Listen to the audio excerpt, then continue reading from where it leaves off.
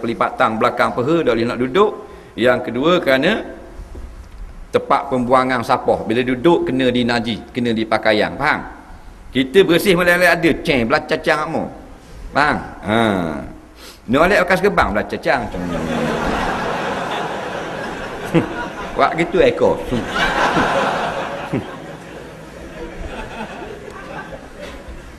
Dalam janggut panjang hmm, bukan ziceng ha, dah haram tidak haram makro. Kalau kita terdesak tak apalah berdiri. Kalau kita boleh kecing duduklah. Kerana tanda kita kasih pada Rasulullah sallallahu alaihi wasallam. Faham? Kerana dia ada baik untuk kesihatan. Nak ha, payah berkumpulnya apa benda ni? Ha, sisa-sisa toksin dalam pundi kecing. Dengan mengamalkan kecing duduk. Faham? Ha. kita ngaji saja je nak? Ha. Tanya kecil ceng boleh ada. Ada tandas masuk dalam. Bahang tandas luar kok. Tandas makuk tu. Tandas makuk tu memang orang tak boleh duduk pasal nak buat warok ha? dia duduk. Ha. Ada gambar makuk dia nah ha, tu memang lah darurah ha. Nah tapi dah ni kaki ngaji. Naik kabak mulai ada duduk.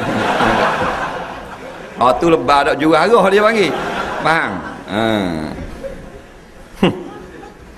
ha jadi benda contoh yang baik Nabi contoh akhlak yang baik untuk disempurnakan akhlak-akhlak manusia turun para nabi. Ha jadi berarti dia tak buat yang makruh, dia tak buat yang haram. Dan maha suci mereka para nabi para rasul daripada khianat pada mengerjakan yang ditegah dengan yang tegah, yang tegah haram ataupun tegah makruh. Tidak amanah tak ada dalam kamus para nabi, para rasul. Begitu juga lah dengan khianat. Ne? Susu harta orang, pitih orang dan sebagainya. Bukan ketelah menjadi nabi, belum jadi nabi. Rasulullah SAW masih belum dilantik menjadi rasul. Orang panggil dah Mak Muhammad Amin. Faham? Benda makna Muhammad Amin yang sangat dipercayai. Padahal budak-budak ni. Orang agak akak-akak rumah dia, jiran-jiran dia kalau nak pergi jalan jauh, maka tinggal mah ke dia. Tinggal piti ke Nabi. Nabi tak jadi Nabi lagi. Nak, ha, nak jalan jauh nak piti mana? Piti tinggal ke Muhammad.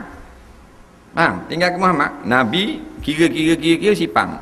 Kalau tinggal lima ribu balik, tuan lima ribu juga. Dok dua, dok kosek, arti orang. Faham? Ha, amanah. Sebab para Nabi bukan dia jadi Nabi baru dia amanah daripada kecil. Nak? Ha. Daripada lahir gitulah Allah jaga daripada lahir lagi. Dalam perut jaga dah. Alam arwah disucikan dah daripada segala kotoran. Faham? Ha.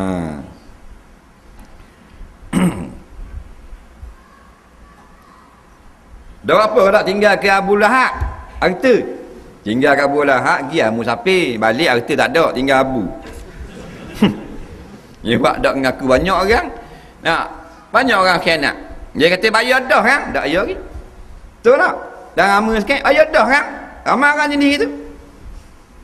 Jadi kita belajar sifat Nabi, sifat Rasul bukan bagi anak dengar hanggut saja supaya kita lazimi sifat-sifat sifat ini wajib bagi kita dan wajib bagi rasul wajib bagi rasul atau wajib akli wajib bagi kita atau wajib taklif maka kita bersifat dengan sifat ini bagai tuntutan yang wajib. Wajib kita bersifat dengan benar haram bersifat dengan dusta.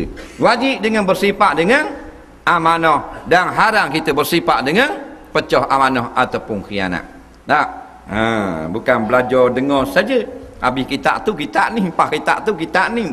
Buat dak tarang pecah amanah.